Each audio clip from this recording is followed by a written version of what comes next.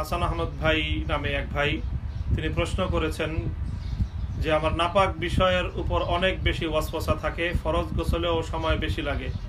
এ থেকে পরিত্রাণের উপায় কি? অর্থাৎ শরীরে নাপাকি থেকে গেল কিনা, তাহারাত অর্জন করার সময়ও, উজু গোসলের সময়ও একটা সংশয় থেকে যায়, ওয়াসওয়াসা থেকে যায়।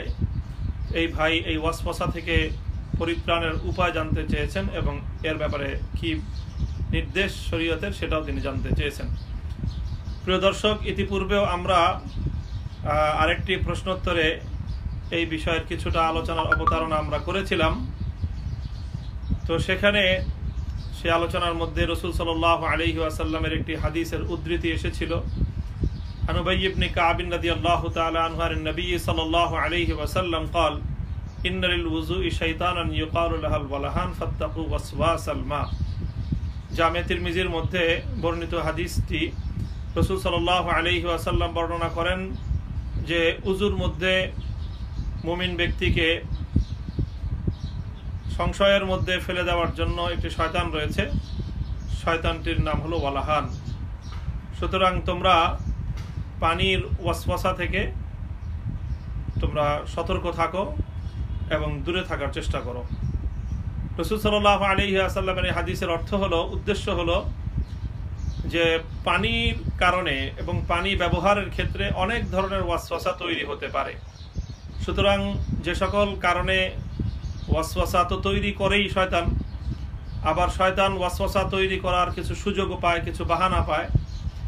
তো আমাদেরকে আল্লাহ রসুল সাল্লাহ আলহি আসাল্লাম সতর্ক করেছেন যে আমরা যেন এমন কোনো কারণ কার্যকারণ না ঘটাই এমন কোনো কারণ তৈরি না করি, যার মাধ্যমে শয়তানেরও ওয়াসওয়াসা তৈরি করার সুযোগ সৃষ্টি হয়। যেমন পানির মধ্যে যে সকল ওয়াসওয়াসাগুলো আসে, দু ধরনের ওয়াসওয়াসা পানির মধ্যে সাধারণত আসে। একটি হলো পানি শরীরের অঙ্গে পৌঁছলো কি পৌঁছলো না। আমি উজু করলাম, আমার উজুর যে অঙ্গগুলো হাত কনুই পর্যন্ত ধুইতে হয়, ধুতে হয়, সারা মুখ, মুখমণ্ডল ধৌত করতে হয়, পা ধুতে হয়।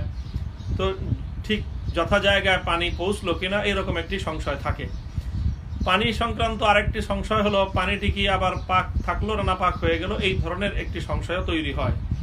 রসুল সাল আলী ওয়াসাল্লাম যেই কারণে সংশয় তৈরি হওয়ার আশঙ্কা রয়েছে, সে সকল কারণগুলো পরিহার করে চলতে বলেছেন। যেমন হাদিসের মধ্যে নিষিদ্ধ হয়েছে যে যেখানে মানুষ গোসল করবে, সেই গোসলের জায়গায় হাম্মামের মধ্যে যেন কেউ পেশাব না করে।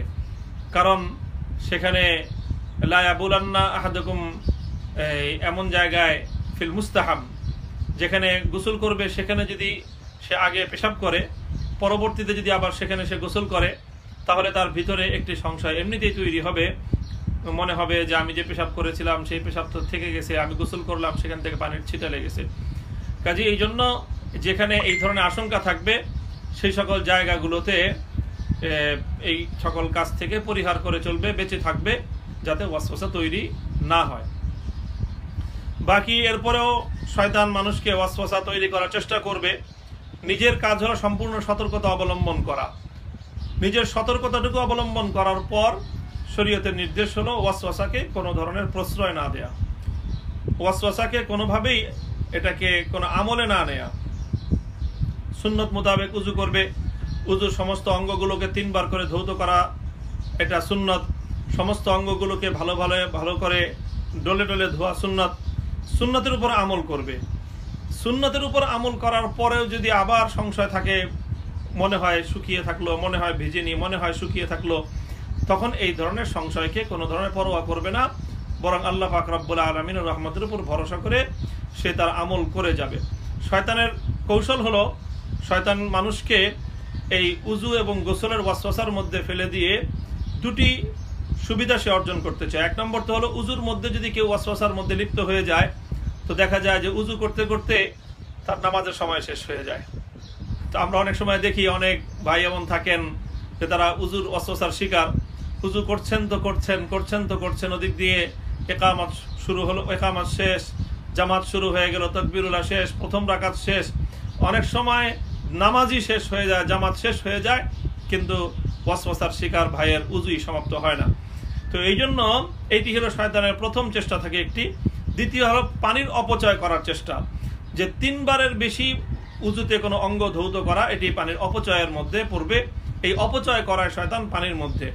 কাজেই আমাদের দ্বারা এই দুটি ভুল যেন না হয়, আমরা পানির ওয়াসওয়াসার কারণ না ঘটি, আমরা পানির ওয়াসওয়াসা তৈরি করব না, এই পানির অপচয় করব না, এবং আমরা উজুর মধ্যে সুন্নত যতটুকু ততটুকুর উপর আমল করার পর আর কোনো ধরনের সংশয়কে আমরা প্রশ্রয় দিব না।